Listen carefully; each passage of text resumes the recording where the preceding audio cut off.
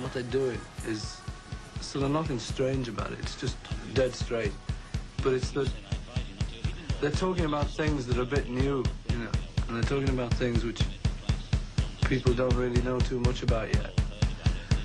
And so they tend to get, you know, people sort of put them down a bit and say, you know, weirdo, psychedelics, just dead about it. But it's really just what's going on around, and they're just trying to look into it a bit. So next time you, see the word, you know, like any word, any, any new strange word like psychedelic, you know, drugs, the whole bit, you know, freak out music.